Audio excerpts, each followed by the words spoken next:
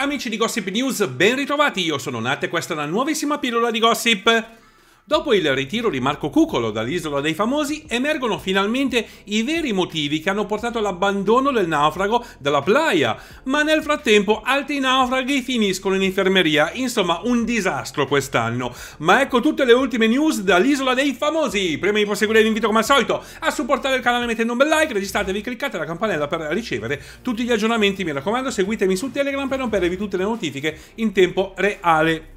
Ma veniamo a noi, questa è davvero l'isola dei famosi, più sfiga- eh, sfortunata. Potremmo chiamarla l'isola dell'infermeria, praticamente. La sedicesima edizione del reality non è molto fortunata da questo punto di vista. In continuazione i naufraghi finiscono per richiedere accertamenti medici, tutti in infermeria. Mi chiedo quale sia il reale motivo. Vabbè.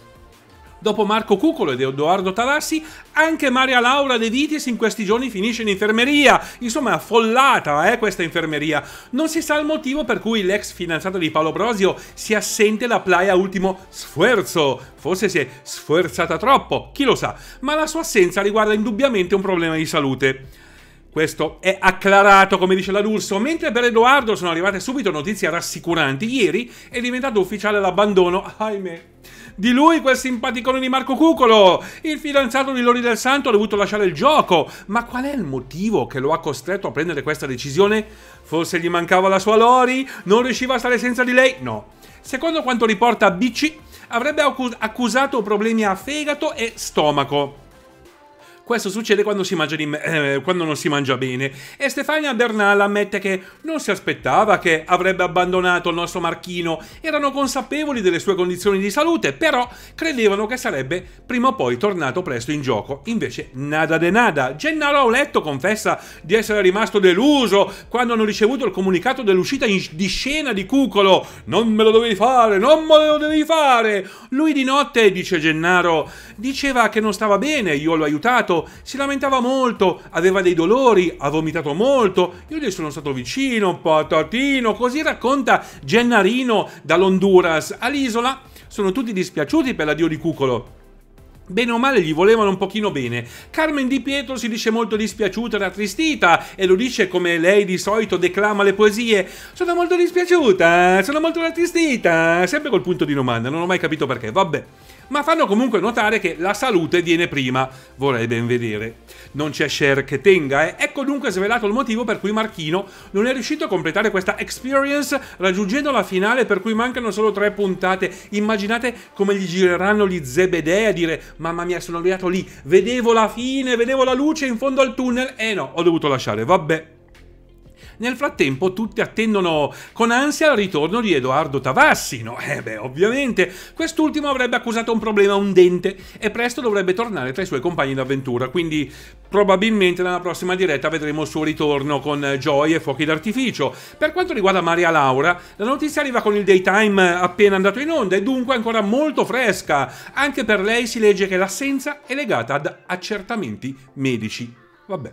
In Honduras sembra essere poi tornata la serenità con Nicolas Vaporidis, che si è finalmente riconciliato con Nick, Nick Luciani, il famoso Anima mia, e da ora, ora dà consigli a Mercedes Henger su come comportarsi quando Edoardo farà il suo ritorno. Eh, perché Vaporidis... Eh, Altro che manuale d'amore, lui ne sa a pacchi. In particolare l'attore invita la sua compagna d'avventura a non mostrare troppo il suo interesse, in quanto pare che il Tavassi l'abbia frenzionata.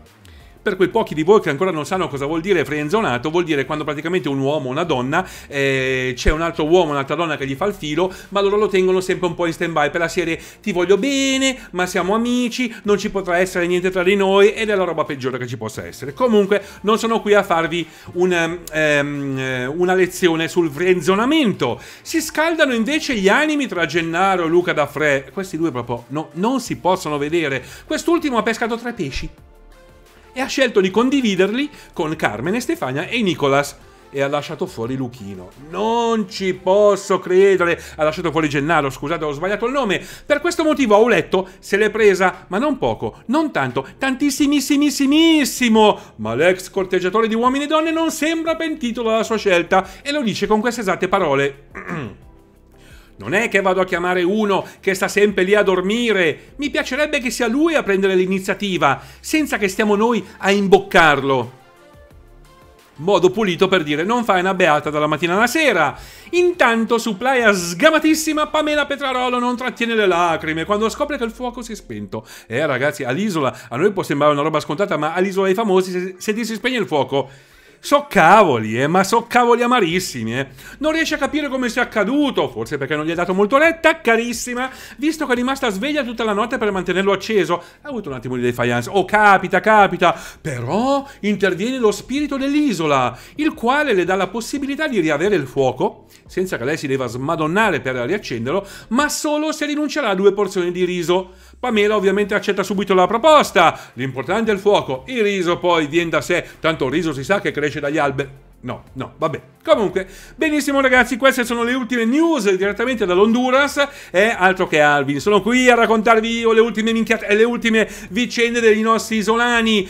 Fatemi sapere qui sotto con un commento se state seguendo queste isole famose. Dai raga, ancora tre puntate, poi finisce e probabilmente, come ho detto in un video un paio di giorni fa, finirà per sempre. Quindi cerchiamo di goderci queste ultime puntate, vabbè goderci è un parolone, eh, perché probabilmente c'è il caso che non vedremo mai più il reality honduregno d'ora in avanti, a meno che qualche altra rete se lo prenda in carico, perché Mediaset proprio non ne vuole sapere. Benissimo ragazzini, quindi commentate come se non ci fossero domani, per il resto lo sapete, mettete un like sotto questo video, iscrivetevi al canale, cliccate la campanella e vi ricordo ovviamente di seguirmi nel canale Telegram per non perdervi tutte le notifiche in tempo reale, lo trovate qui sotto il mio bel facciolissimo, oppure link in descrizione iscrizione per non perdervi tutte le notifiche e noi ci vediamo alla prossima.